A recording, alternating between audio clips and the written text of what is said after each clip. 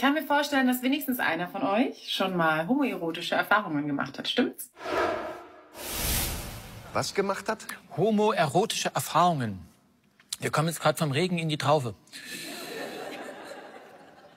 Nein, natürlich. Also ganz oft. Ne? Ich, man liegt im Bett, man, dann sagt jemand, ja, hier Mund auf, ähm, Zunge raus. Und dann wurden so ganz kleine weiße Kügelchen unter die Zunge gelegt. Wohl, das waren homöopathische Erfahrungen. ich habe es doch nicht richtig verstanden. Ja. Ja. Homöopathische Erfahrung. Homoerotische Erfahrung ist was ganz anderes. Das ist was ganz anderes, ja. Da, da, da sind die Kugeln viel größer.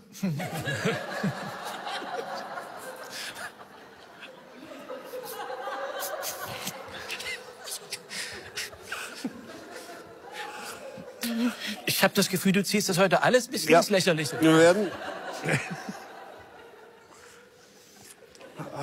Tut mir leid. Die Kugeln viel größer. Man muss es auch sagen wollen. Das respektiere ich so. Ich nicht. Also ich war bei der Bundeswehr, aber war nix. Viele glauben ja, homoerotische Erfahrung, der G-Punkt des Mannes zum Beispiel, sagen viele, das ist was für Schwule. Ähm,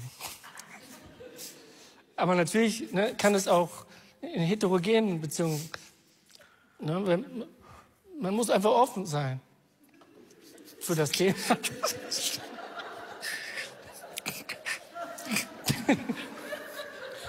Ja. Es gibt ja den schönen Schlager von Mickey Krause, Finger in Po Mexiko. Und da,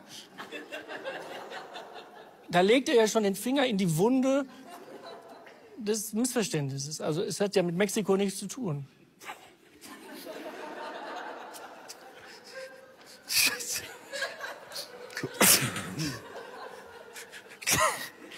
Ja.